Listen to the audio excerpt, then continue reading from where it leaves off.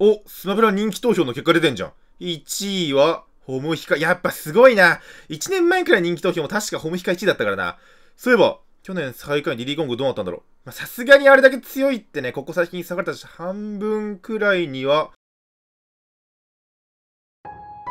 う、う、で、デレーゴング、お前、お前どうしまったんだよまるで、まるでポケトルの3匹目みたいじゃねえか滑るのはバナナだけにしとけって、あれほど人気も滑ってるじゃねえかだけど、俺に任せてくれ俺がお前を一番にしてみせるどうも、逆キラーサイドです。僕は非常に悲しいリリーコングが、キャラ投票でワース1取ってしまいました。春夏2連覇。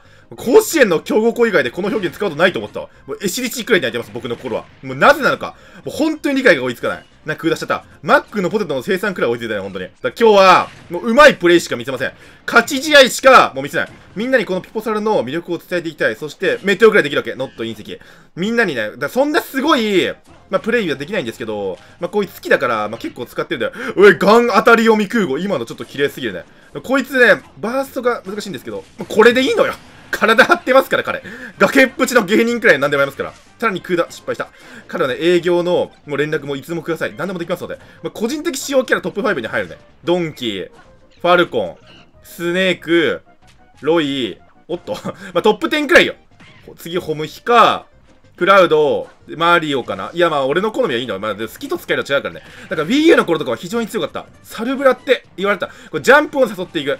言われてますから、ディディ以外なんか使うのありないみたいな時期があったんですよ。今でさえ、キャラ投票、なんかキャラランクの S みたいな言われてるじゃないですか。海沿いの公園みたいな。S 寄りの A みたいな。俺は救いたい。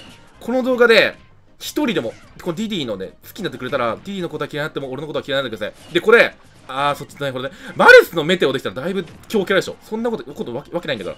もうドンキーとね、ディディなんか、あれなんか、ルフィとエースみたいな感じかと思ったら、もうこいつがね、ディディが使いなすぎて、もう煉獄兄弟みたいになってるもんね。弟が何もできないみたいな。やばいちょっと、そろそろバースト試合に全然バーストの機会を俺を与えてくれない。これ、もう見せプするわ。もう、見せプしないとみんな、使ってくれないでしょ。ここれで殺す。これジェットで。全然ダメでした。やばい。全然。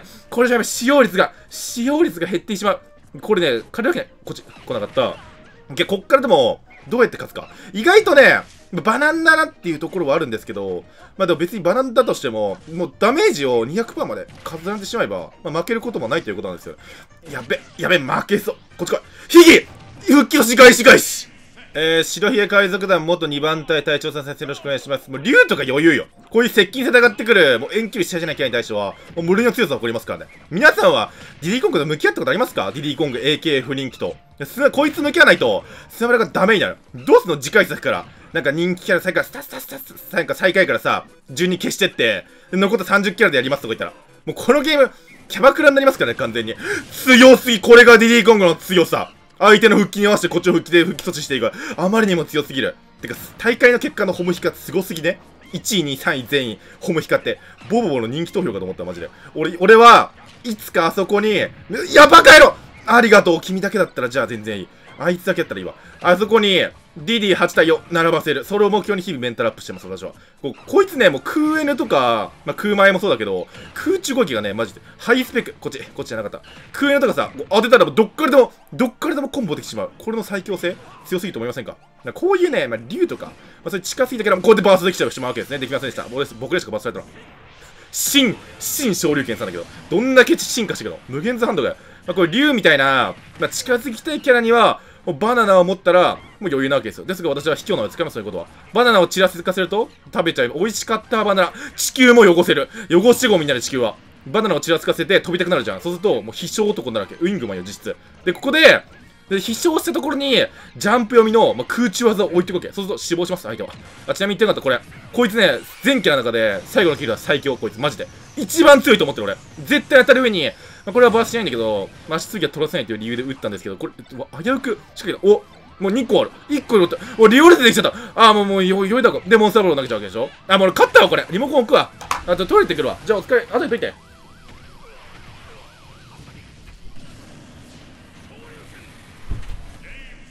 お、挨拶返してくれた。最近の若いスマブラモンは、挨拶もできない人ばっかだからな。昔から好きやつだから。皆さん知ってます？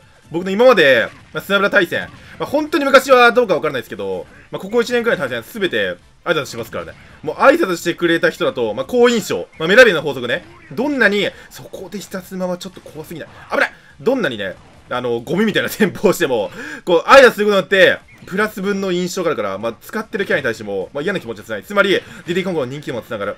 キャラの評判先はそういった意味があるんですよ。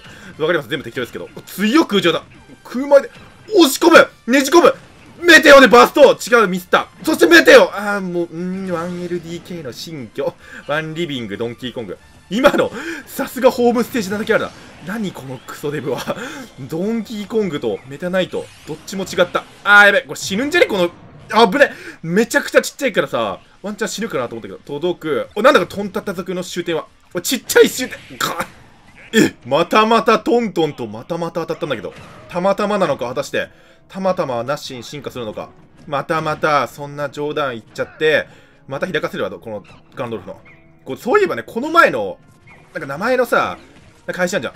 怖い植木置いてくんの。なんか、はい、名前配信したら相手緊張する説みたいな。